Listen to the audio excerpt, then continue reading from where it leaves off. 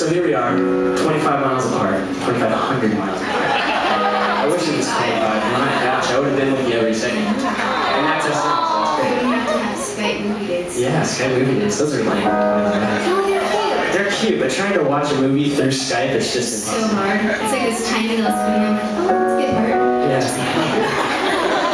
So basically, I was uh, I was uh, you know a broke young man, and I need someone to move to LA and ask this girl to marry me already. So this is the craziest thing, but I Google searched jobs in LA, and the second listing on Google was, or can you play piano? This is in the little like description under it. I'm like, yeah. can you sing? Duh. Are you outgoing? Sure, I can do that. You have a love for water? I'm like, yeah, I drink water all the time. And uh, so I opened up the link, and it was like cruise ship piano player.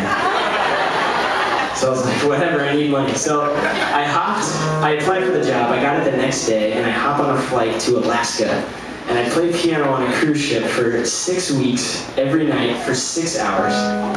It was pretty much the worst time of my life. Can't explain to you uh, how terrible it is to play Billy Joel's Piano Man seven times a night for 75 year olds. You can just imagine. Um, but one thing that happened on there was uh, I was basically just homesick and I missed Carissa. And I began to write down this, this song because it was the only thing that could help me get through every day. Um, that feeling of, of being lonely. And I brought it back to Carissa when I finally made it back to town. And I said, what do you think about this song? She said, it's great. And she started working things out with it, adding her own touch and her own words. And uh, this is what we came up with. It's called Take Me